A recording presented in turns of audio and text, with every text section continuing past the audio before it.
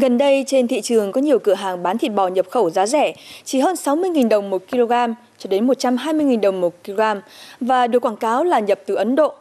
Tuy nhiên, người tiêu dùng thì cần cảnh giác. Một số nhà cung cấp thực phẩm đông lạnh nhập khẩu cho biết mức giá này chỉ bằng 1 phần 3 giá thịt bò tươi được bày bán trên thị trường là phi thực tế bởi mức giá này ngang bằng với giá bán sỉ ở các nước phát triển.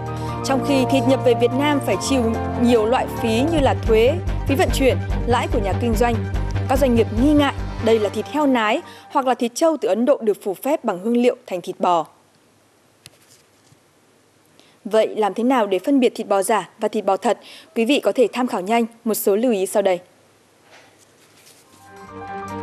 Thịt bò thật có mùi bò đặc trưng, thịt màu đỏ đậm, có thớ mịn dài và mỡ vàng. Trong khi đó thịt bò giả làm từ thịt heo nhạt màu hơn, thớ to và ngắn, mỡ trắng đục. Thịt bò giả từ thịt trâu thì thớ thịt có màu đen sẫm, thớ thịt khô. Thịt bò thật có mùi bò đặc trưng, tuy nhiên thịt bò giả cũng có thể được bôi mỡ bò lên để giảm mùi bò. Chỉ khi cắt lát miếng thịt ta mới ngửi được mùi thật của miếng thịt. Một số thịt bò giả còn bị nhiều màu, cách phân biệt là thử nhúng miếng thịt vào nước, thịt bò giả sẽ bị ra bớt màu trong nước. Dễ nhận ra thịt bò giả sau khi đã chế biến. Thịt bò giả không có màu đậm mà màu nhợt nhạt, khi ăn không có mùi thơm của thịt bò.